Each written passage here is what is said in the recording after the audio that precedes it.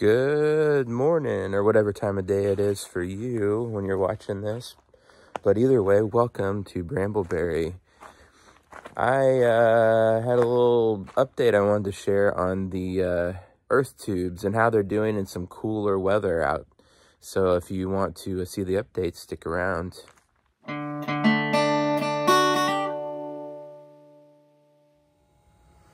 If you've been watching our uh, previous videos on this, you know we have an earth tube that we are experimenting with that we have going into our solar shed here. And it goes underground here and all the way out down around there somewhere. And so we, we pull air in with a fan up this and into the solar shed. And the idea with the way these earth tubes work is that you tap into the constant temperature of the ground uh, to either, I don't know if it's heat or cool, but more like regulate the temperature of a space. Uh, this is just a big experiment for us because we've never built these before. There's things that I didn't do like I probably should have, and now I'm trying to make it better. So uh, when I put this in, it was in the warmer months and I was trying to cool down the the solar shed. And that didn't have very good results but today when I woke up I decided to come out and check temperatures because it's cooler out like 32 degrees out right now. And I'm going to give you a look at the temperature of the air coming into the solar shed from the uh, earth tube and then what the temperature is inside the shed. Slide on here.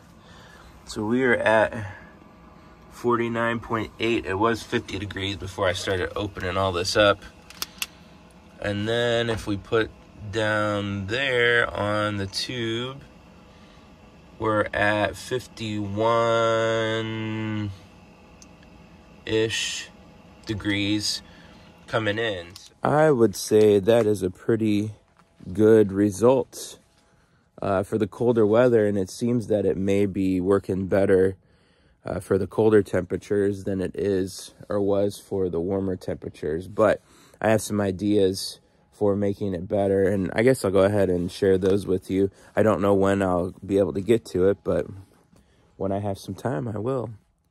I don't know how well this comes across in the video, but the the ground here settled quite a bit.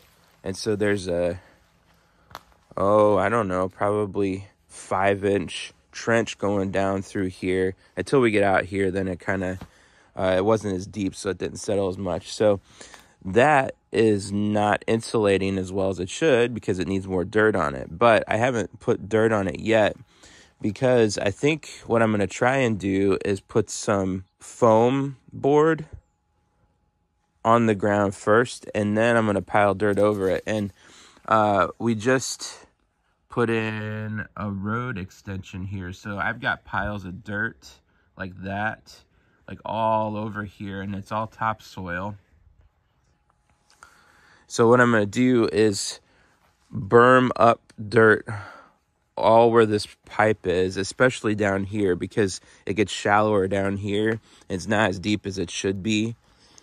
Uh, well, actually, the whole thing is not as deep as it should be. I ran into rock and I can only dig so far with my little backhoe. So, you know, from down there all the way up here, berm this up. And even more so down here is my idea. And hopefully when I do that, it'll maybe uh, simulate that it's the earth tubes are deeper. I don't know how well that's going to work, but we'll just have to try and find out. But anyway, that's for another video, and that's all for this one. And as always, if you watched, I thank you for watching, and I hope you have a very blessed day.